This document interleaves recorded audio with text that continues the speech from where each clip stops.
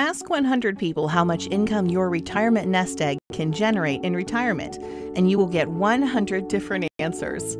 However, while there are different strategies and approaches, there is one rule of thumb that is usually the basis from which all others are built the 4% safe withdrawal rate. In 1994, William Bengen conducted a study to determine how much retirees could withdraw from their retirement nest egg without running out of money. In his research, he discovered that if retirees withdrew 4% of their nest egg each year, adjusting each year for inflation, there was a good chance that retirees could not outlive their retirement nest egg. Today, however, researchers are beginning to rethink Bengen's 1994 research. Now, many researchers believe that a safe withdrawal rate isn't 4%, but rather 2.8%, or 2%, or even as low as 1.49%. Why? Bonds. Simply put, Bengen's research assumed that your retirement portfolio was invested in stocks and bonds, and Bengen's assumptions did not consider today's long period of historically low bond yields. The low yields drag down the potential performance of the bond portion of your portfolio, lower than what Bengen assumed. And before you think that simply using your bond holdings will be the answer, increasing your exposure to stocks will simply increase your exposure to volatility, which adds a whole new level of risk to your retirement.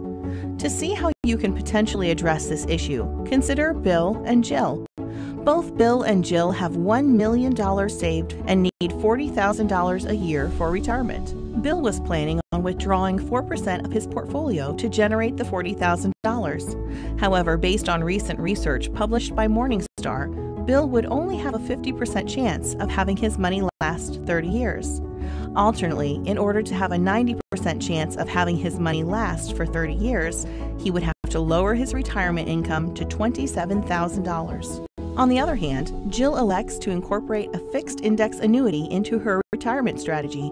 By using a portion of her $1 million to purchase a fixed index annuity, she is still able to reach her retirement income goal of $40,000. Plus, the income that is generated by the fixed index annuity can be guaranteed to generate lifetime income. The key is that in order to address the many risks of retirement, you may need to consider retirement products that you may not have contemplated when you were saving for retirement.